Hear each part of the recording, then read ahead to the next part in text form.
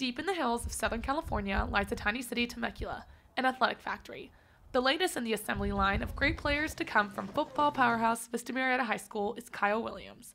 He is listed as an athlete, but what does that really mean?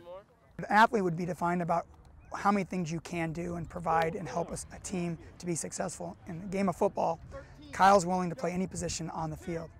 Uh, last year, I mean, he's a wide receiver DB by trait.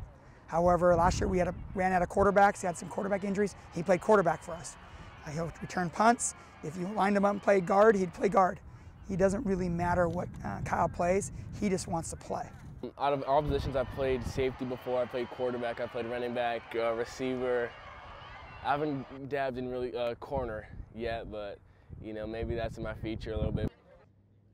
Adapting to different positions has come pretty naturally for Williams, who had 2,363 all purpose yards last season and was his league MVP. The Broncos, under his guidance, went 12 and 2 and made their divisional final, but it was a certain position that helped him progress more than any other.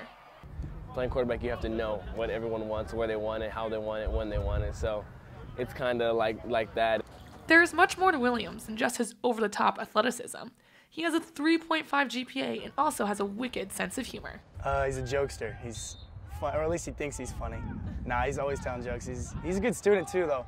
He, uh, he's got a nice balance between funny and school, and he makes it work. Off the field, he is, you can have a conversation for hours of just any conversation you want. He's very educated, he's very uh, socially smart. He's just a down to earth, great kid. Williams didn't get this far on his own. He had help from his mom and dad molding him into the athlete and person he is today. He's kind of in the sense a trophy dad, you know.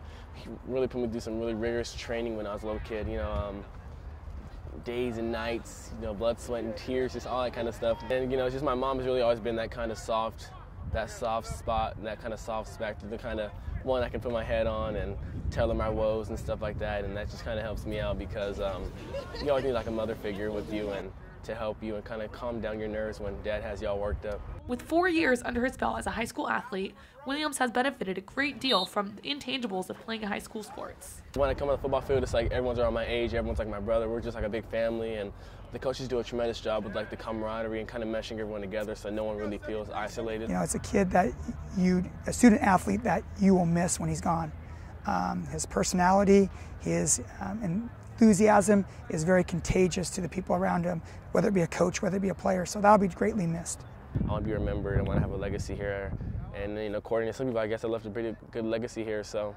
Kyle hopes to make a similar impact for the Sun Devils when he enrolls this fall. You know, I usually get up and watch the early East Coast games. You know, Clemson and those guys play and stuff like that, and just now it'll be me playing on Saturdays, and that that'd be the biggest thing. For Cronkite News, I'm Kendall Pope.